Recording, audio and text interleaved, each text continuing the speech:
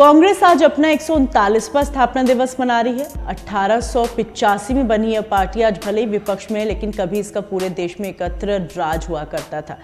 कांग्रेस के स्थापना दिवस के मौके पर आइए जानते हैं पार्टी के अब तक के सफ़र के बारे में।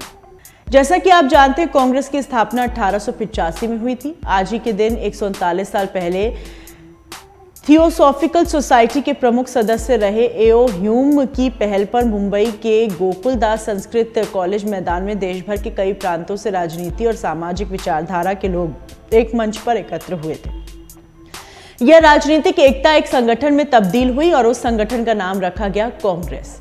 पार्टी के गठन के बाद एओ ह्यूम इसके संस्थापक महासचिव बने और वोमेश चंद्र बैनर्जी को पार्टी का पहला अध्यक्ष नियुक्त किया गया। पार्टी में उस वक्त इन दोनों के अलावा इकहत्तर सदस्य और थे।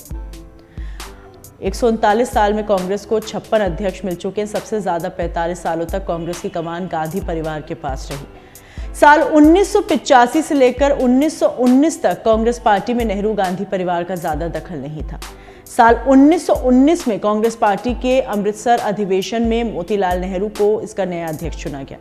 1928 में उन्हें कलकत्ता के अधिवेशन में एक बार फिर से अध्यक्ष चुना गया। इसके अगले ही साल कांग्रेस की कमान मोतीलाल नेहरू के बेटे पंडित जवाहरलाल नेहरू को दी गई। दो सालों के बाद सरदार वल्लभ भाई पटेल को पार्टी का नया अध्यक्ष चुना गया। वहीं 1936 और 1937 में जवाहरलाल नेहरू फिर से अध्यक्ष बने। देश की आज़ादी के बाद उन्नीस सौ इक्यावन में फिर से कांग्रेस की कमान पंडित जवाहरलाल नेहरू को सौंपी गई।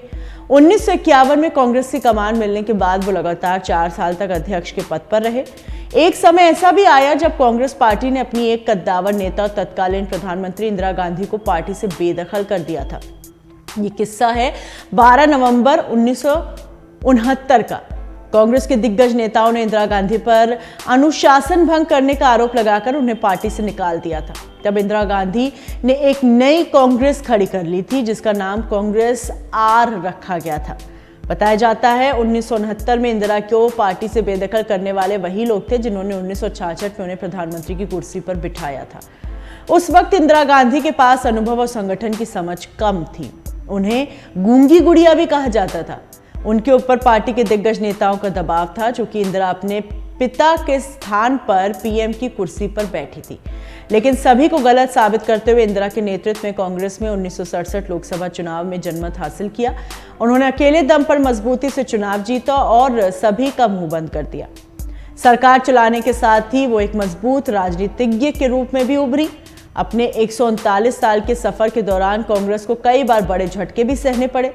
ये झटके उसे अपने ही नेताओं से मिले। अठारह में पार्टी की स्थापना के बाद से अब तक कांग्रेस ने चौसठ ऐसे बड़े झटके देखे हैं जब कांग्रेस नेताओं ने पार्टी छोड़ने के बाद अपनी नई पार्टी बना ली।